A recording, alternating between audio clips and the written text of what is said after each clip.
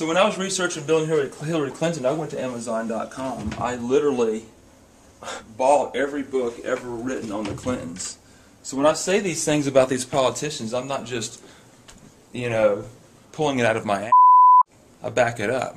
How many books about the Clintons do you think you have? I might have uh, 200, 300 books on the Clintons. You've read all of them? I, I read and I skim probably all of them. Absolutely, I do my research. It's amazing that many books about the Clintons have been written. And a lot of the really uh, obscure ones is where you learn the most. So this is uh, your version of the Clinton Library. Yeah, Clinton has a library, L-I-E, library. and and Rick Perry reminds me a lot of Bill Clinton. What other kind of materials and documents do you have stored away? Yeah, come on over here.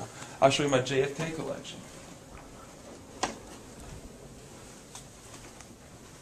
Here's my uh, library on the JFK assassination, uh, also known as the 1963 coup d'etat.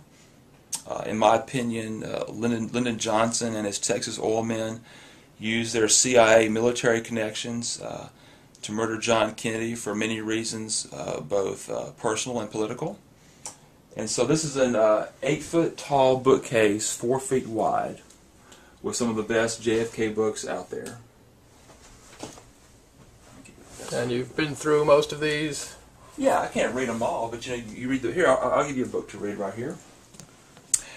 Here's one of the best books to read on the JFK assassination. It just came out recently. It's LBJ, the mastermind of JFK's assassination. Um, I highly recommend it. It's cutting edge JFK research.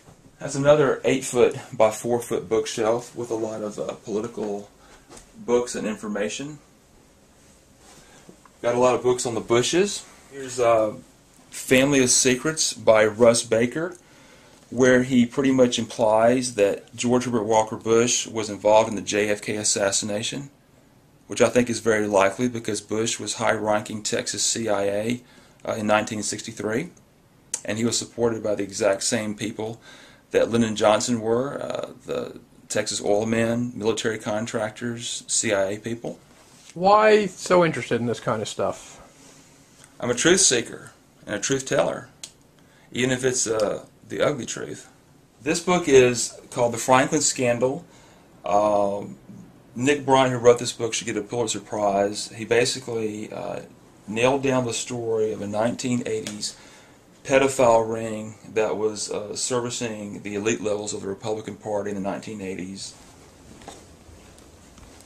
In fact, what I'm going to do is I'm, I'm going to give you that book right there.